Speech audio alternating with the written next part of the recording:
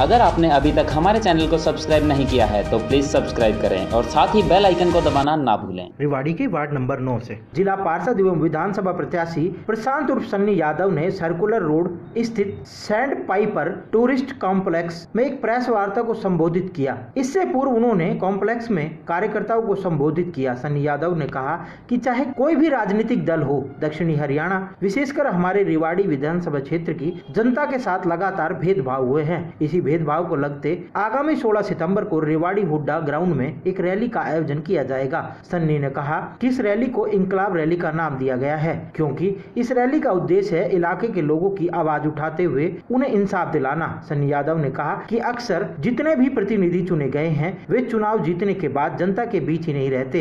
यहाँ की प्रमुख मांगे बाईपास का निर्माण कराना, डबल फाटक पर रेलवे अंडरपास बनाना, एम्स का निर्माण कराना, व युवाओं को रोज़गार दिलाना समेत कई मांगे हैं। जिन पर अभी तक अमल नहीं हुआ है। यहाँ से जो भी प्रतिनिधि चुनकर जाते हैं, वो अपने क्षेत्र की बजाय अपने हित की आवाज़ उठाते हैं। ऐसे में उन्हें रैली करने का निर्णय लिया है। सनी यादव ने आगामी विधानसभा चुनाव आज़ाद उम्मीदवार के तौर पर लड़ने की इच्छा भी ज़ाहिर की। इस मौके पर उनके साथ जिला पार्षद अमित कुमार, नीतू चौधरी, जिला पार्षद नीलम देवी, हरीश झाबुआ, पंकज यादव, अशोक यादव समेत बड़ी संख्या में युवा उपस्थित थे। आज आपका इस प्रेस वार्ता का मुख्य उद्देश्य 16 सितंबर को हमारे ज़िले और अहिरवाल के क्षेत्र को इंसाफ दिलाने के लिए, उनके हक और हकूक़ की आवाज़ उठाने के लिए एक इनकलाब रैली का आयोजन किया जा रहा है।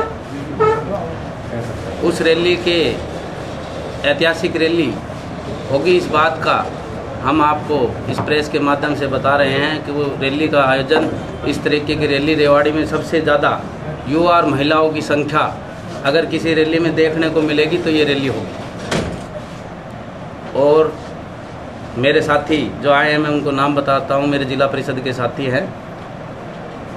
भाई अमित बंधु भोतवास से, नीतू चौधरी जी, नीलम, पिंकी, ये मेरे जिला से परिषद के साथी हरीश झाबुआ जी भी आए थे। वो किसी कारणवश जल्दी के कारण यहाँ से निकल गए। और भी अनेक साथी ब्लॉक समिति मेंबर, सरपंच पद, वो हम आपके प्रेस नोट के माध्यम से आपको नाम भेज देंगे। और आप सभी से यही आशा विश्वास है आपके माध्यम से भी हम सभी देवाड़ी इलाके की जनता को एक सही और सच्ची दिशा दिलाने के लिए आमंत्रित करते हैं। आप उन, उनकी एक उपस्थिति इस बात की गवाह होगी वो भी कुछ नया बदलाव चाहते हैं। सन्नी जी कहाँ हुई रैली? कौन कौन शामिल होंगे? ये हमने परमिशन ली है जी। सभी कार्रवाई जो होनी चाहिए प्रशासन की तरफ़ से, जिला उपायुक्त की तरफ़ से हमने वो पूरी कर ली। जिला सचिवालय रेवाड़ी, हुड्डा ग्राउंड, बावड़ रोड में हमने वो स्थान वो किया है 16 सितंबर प्रातः ग्यारह बजे। और इस रैली में जैसे आपने पूछा कौन कौन शामिल होंगे, जैसे मेरे जिला परिषद के साथी बैठे हैं, वीरेंद्र जी बैठे हैं, बड़े उद्योगपति हैं, इसी तरीके के सामाजिक और जिनकी नीयत और नीति अच्छी है वो उस मंच पे शामिल होंगे।